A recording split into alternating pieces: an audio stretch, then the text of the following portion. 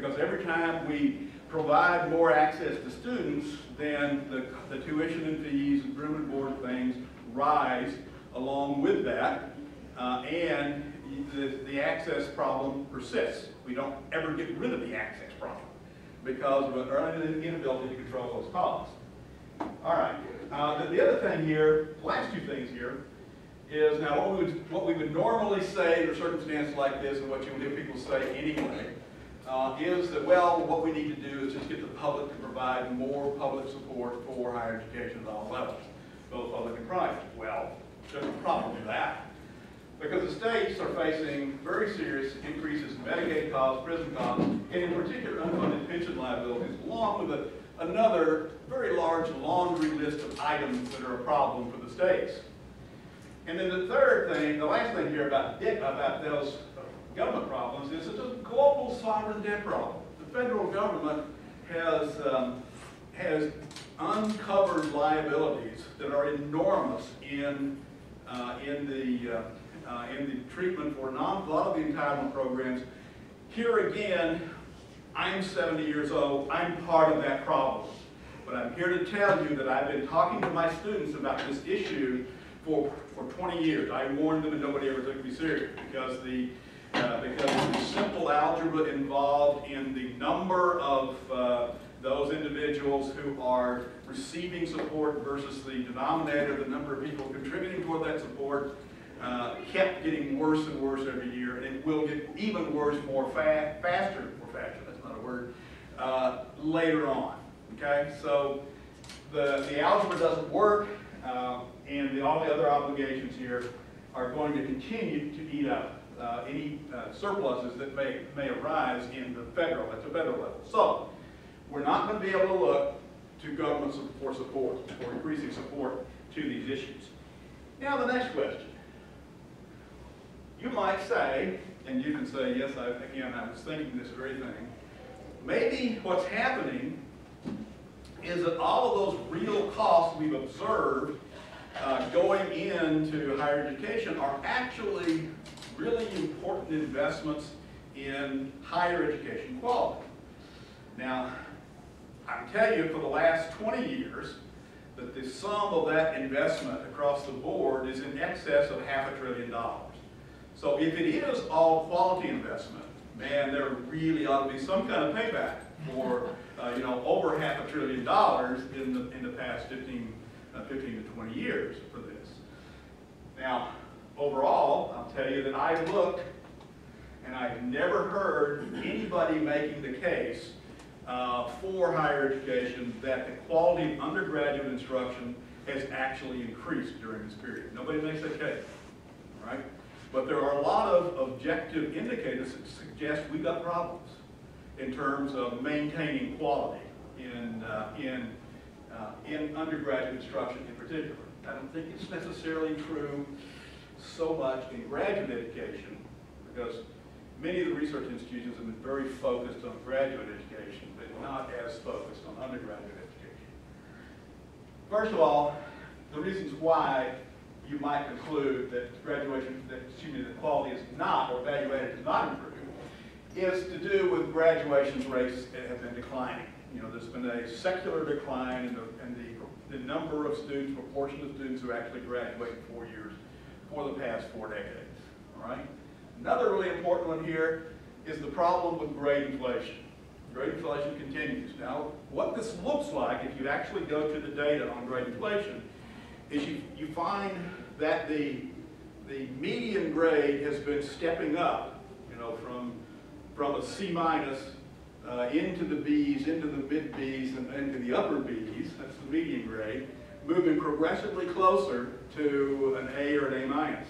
And at the same time that that's been going on, the distribution has been, the probability mass has been collapsing on the median, all right? So it's become much more condensed uh, uh, distribution as, uh, as it has moved up. Okay?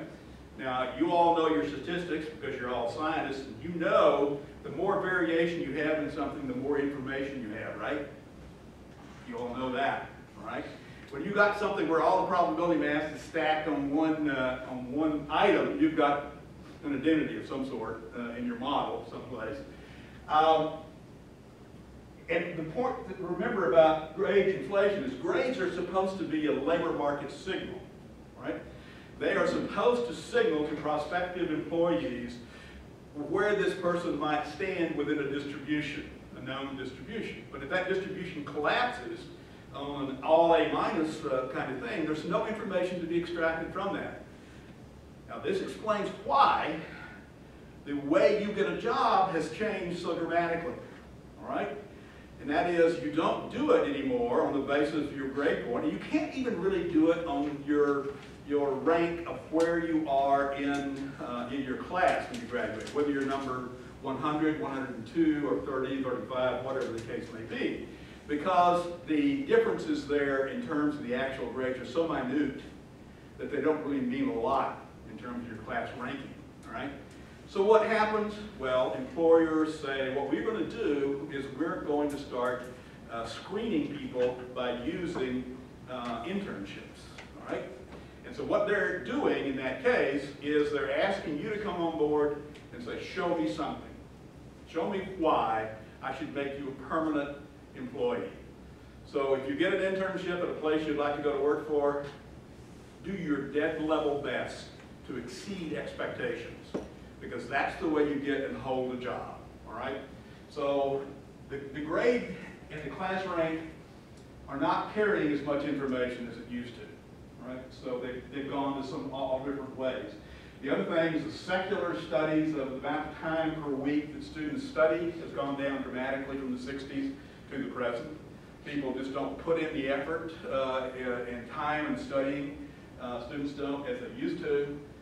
The fourth thing is proficiency tests are getting worse.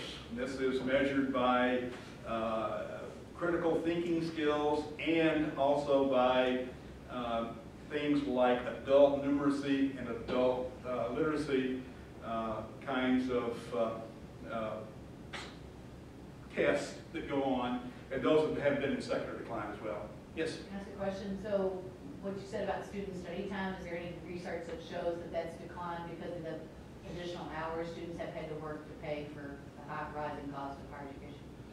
Uh, you know, that's a good question, and I don't know that literature that well uh, to whether I can tell you uh, the definitive answer whether that variable is significant or not. I suspect it probably is. Uh, I think one of the things that is uh, is um, is explains the uh, uh, explains the grade inflation problem is this mutual uh, agreement, mutual non-aggression pact between between professors and between students. Uh, uh, I, you know, I'll give you good grades if you'll just simply give me good, you know, good evaluations. Another aspect of that, I want to point out here, with that working, think what that does to uh, individual professors who are really trying to maintain standards. So it's kind of what we refer to in economics as Gresham's law of teaching, and that is uh, people who do that drive out good teaching because uh, what you get from students, if you're really holding their feet to the fire in your class, is you get, they come in and say, well, you are so unreasonable by comparison to Professor X. And you get that time and time again from students, and that uh, will erode your willingness and your ability. If you're trying to get tenure, that's a big problem. If you're already tenured, it's not a big, a problem, but uh, it is. Then one of the, other things here is, two, is the deconstruction of the curriculum.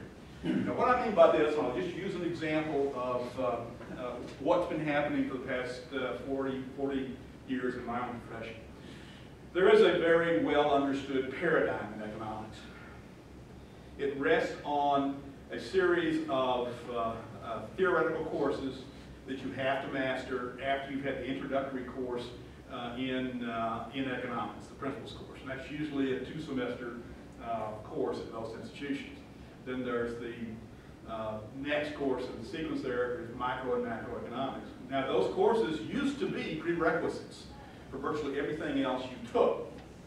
But that has eroded dramatically in the economics profession where people keep making exceptions for students to be taking classes that they really should not be taking because they do not have the foundation in the theory courses.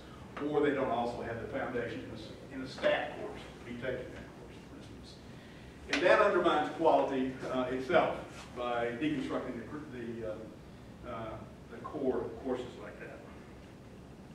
All right. Now, this is my most important slide, all right? This is where it all comes together. Uh, This identifies the four separate cost drivers, the things that drive cost higher in higher education. And it also identifies the two separate origins, you know, where they come from. You know, what vector are they on? Uh, Are these things coming from the outside, or are these things internal? And that's the, dis- the- distinction between the, um, uh, the external source and the internal source. And they're divided basically into four things, I said. And the number one thing is government mandates. Not, not, not necessarily number one in terms of rank or size or influence, or anything like that, but the first one is the government mandate. This is a problem that every, every institution, whether it's for-profit, nonprofit, whatever, government, whatever it is, uh, it, it suffers from. Because the governments at all levels do place unfunded mandates on these institutions. Um, I would point out to you, however, that, that the for-profit firms are scrutinized